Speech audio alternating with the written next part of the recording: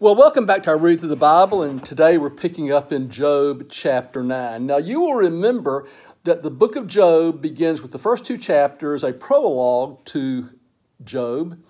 And in these two chapters, there's an encounter between God and Satan. And then after the first two chapters, you come to this second section of the book of Job, which really encompasses chapters 3 through 31. And there's a cycle of three sets of dialogue speeches between Job and his three friends, Eliphaz, Bildad, and Zophar. So as we pick up in Job chapter 9, Job is responding to Bildad, who has been rather harsh in condemning Job for his pride and his hidden sinfulness and wickedness, which he has not repented. And so in the first verse, Job acknowledges, I know that this is so. I know that, that I'm not totally blameless, but there's more to what's going on than, than just this fact. Um, but he shoots back and says to Bildad, But how can a man be in the right before God? Think of that question. How can a man be right before God? How can a man be in the right before God?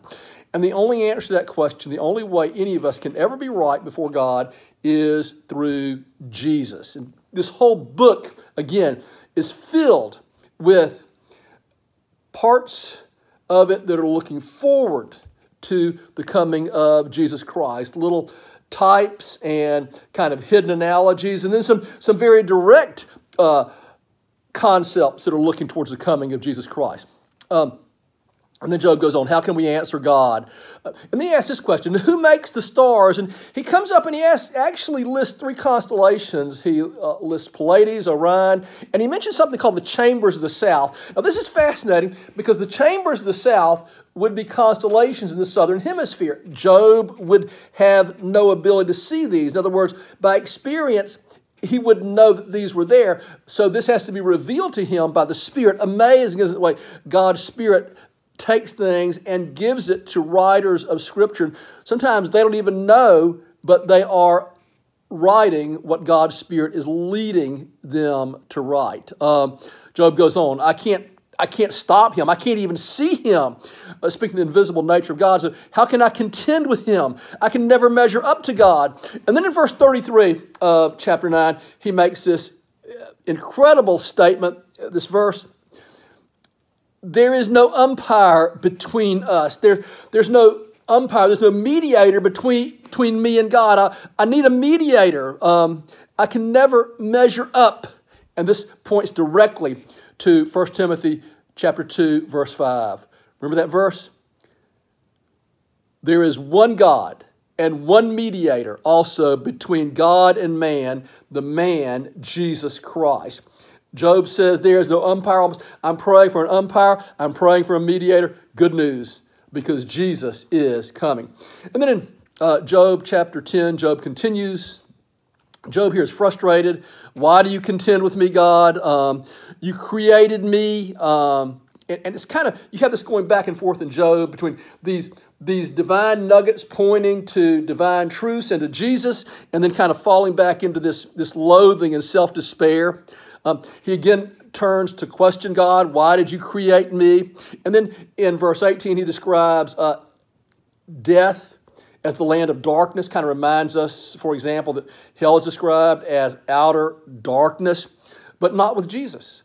For in John 14, 6, Jesus will say, What? I'm the way, the truth, and the life. No one comes to the Father but by me. And again, this entire book is full of those allusions pointing to Christ.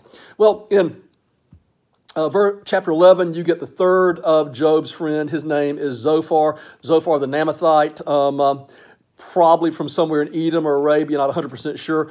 But he accuses Job of saying too much. Job, you talk too much. Um, you're, you're, ignorant of, of God's ways. Uh, very unkind words here. He, he tells Job to repent.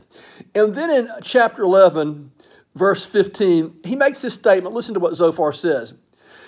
If you will repent and do what's right, then indeed you could lift up your face without moral defect. Now, a couple of interesting things about that. You could lift up your face without moral defect. Uh, first of all, God has already proclaimed uh, in the first couple chapters that Job is blameless and righteous and one that hates evil. But God is saying this not on the basis of the fact that Job is perfect. Yes, Job is a good man comparatively speaking, but on the basis of Jesus Christ. It almost seems as Zophar said, if you repent and do the right thing, then you could lift your face up without moral defect. Now, let me ask this question How much changing would I have to do to be perfect in God's eyes, to present my case before God? Look at me, God, I'm holy, I'm righteous, accept me. Well, that's only possible in Jesus Christ. There's always this mentality, you know, man needs to reform himself.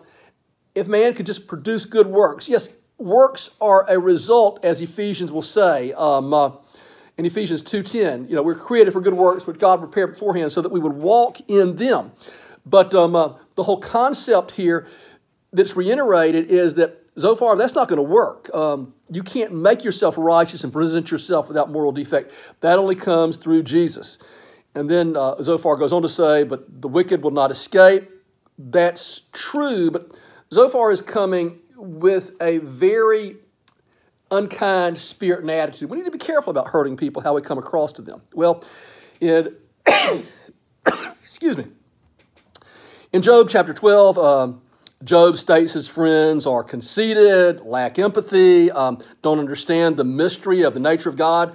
Uh, Job nor his friends knew again about Job 1 and 2, the, the, the heavenly encounter between God and Satan. And Job goes on to say in verses 7 and following chapter 12 learn from creation. God gives life, God takes life.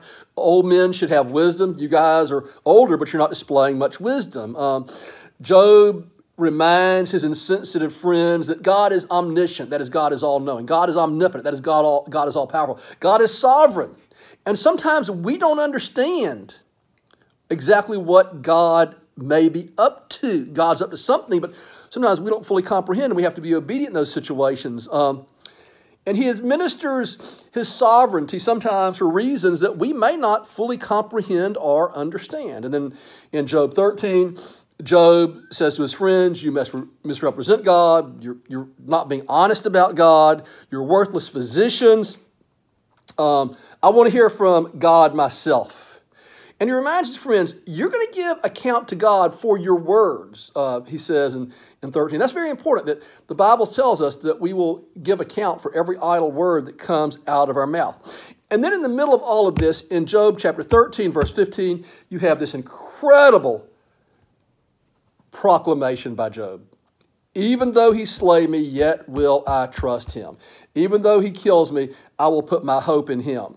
Um, and he says, I know I'll be vindicated. You know, all this is looking forward to Jesus, but only Jesus can vindicate us. Well, in uh, 1320 to the end of uh, chapter 14, Job now begins to address God directly. Uh, and so uh, you come down in verse 4, uh, verse 20 and following. Job is asking for relief from God. Um, again, an explanation of why am I going through all this. Job, demonstrates deep but very perplexed faith. You know, he's got deep faith, but he's very perplexed as to what God is doing. And then in Job 14, you have some, some great quotes found in the 14th chapter of the book of Job. Um, the first verse of chapter 14 uh, Man who is born of woman is few of days and full of trouble. Well, that's true. You know, very, very famous verse. You number our days, so we need to make our days count because our days are indeed limited. And then he asks the question in chapter 14, verse 14 maybe the most significant question in the book of Job, maybe the most significant question in the Bible. If a man dies, will he live again? 14. Job 14, 14. If a man dies, will he live again? And then he says in verse 15, You will call and I will answer you. And he's, he's speaking here of life after death. If a man calls, will he live again? And yes, he's going to call us. And, and we will rise from the dead. Remember that, that great scene in, in, in the Gospel of John? Lazarus come forth. Just think of, of when we are indeed brought up to be with Jesus Christ, the rapture. Uh, and so there's this incredible scene. If a man dies, will he live again? Absolutely yes, in Jesus Christ. There must be something beyond this world in this age. So uh, chapter 14 brings us to the end of the first cycle of uh, dialogue between Job and his three friends. Well, chapter 15 opens a second uh, set of uh, dialogue speeches, and here again, Eliphaz, the uh, Temanite, begins this as he did the first cycle. Um, he accuses Job of irreverent speech. You know, um, your own lips testify against you. Do you only hear from God? You're not listening to us. We're hearing from God. Kind of this, this old trick that Satan uses to get two people together. God said this to me. God said this to me. Well, you know, yeah, uh, we need to be careful when we say God has given me something to tell you. We need to make sure that's not out of the realm of how God works, but we need to be very careful how we do this. Um, and so he goes on, Eliphaz does, God is holy, man is sinful true. But there's a certain arrogance with which Eliphaz is addressing Job. And I would say to Eliphaz, physician, heal yourself, practice what you preach. Um, he goes on in this uh, the wicked suffer. You have wickedness, Job, so you need to repent. Don't let yourself be deceived. You know, we need to be careful that we say the truth and say it the right way. You know, um, uh, kind of Ephesians 4.25, let no unwholesome word proceed out of your mouth, but only such a word is good for edification according to the need of the moment. Well, this wasn't really probably what Job needed to hear right here. Well, in chapter 16, um, Job accuses his friends of, of being sorry comforted, comforters. If the cases were reversed, I would at least show you comfort. Um, and he said, God has exhausted me. God has shriveled me up. Again, going back to this loathing and, and lament. Um, God has become my adversary, handed me over to ruffians, you. Um, but yet, in all this, in verse 19 of, of chapter 16, he's going to speak of his trust being real. He said, even, listen to this, even now, behold, my witness is in heaven and my advocate on high. Beautiful passage of scripture. Even now, I know there is someone making intercession for me. There's an advocate on high. There's a witness. Who can that be but Jesus? Oh, that a man might plead with God for me. That's Jesus. Okay, so we come to Job chapter 17, and Job has come to the point now of seeing his friends as mockers and enemies. Uh, he calls God to promise. God, promise me, make an oath that you will hear me. I think sometimes we feel like, God, listen to me. Just, just I want to talk to you, God. it's ironic, isn't it? We don't take advantage of prayer but we complain that God is not listening to us. So Job continues to lament his condition, but in verse 10 of 17, he says to his friends, I do not find a wise man among you. Kind of, you know, it's sad, you know. God give us wise people to give us counsel to lead in our churches and to just individually counsel each other. Pray for God's wisdom. And then come to the last chapter we're going to look at now, uh, chapter 18. And here you have Bildad the Shuhite. Bildad, the shortest man in the Bible. Shuhite, get it? Haha, well, we'll move on from that one. But um, Bildad is probably from Arabia, uh, but he is probably the harshest of Job's three friends. Um, and so it's really getting really bad now. Job, shut up and listen. Repent of your wickedness. Kind of friends like this, who needs enemies? Um, You've been caught in your own sins, thrown into the net by your own feet.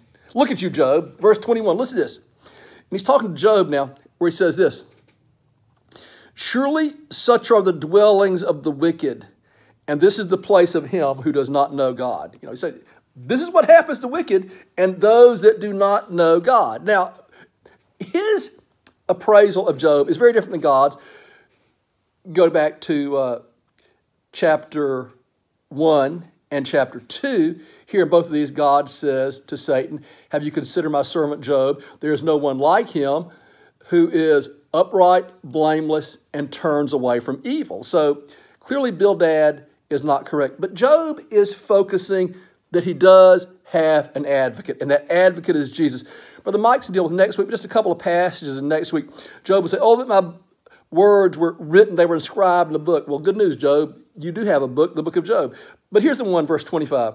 As for me, I know that my Redeemer lives. Mike's going to take that. But how could you live if you did not know your Redeemer lives? Job had a Redeemer, and his name is Jesus.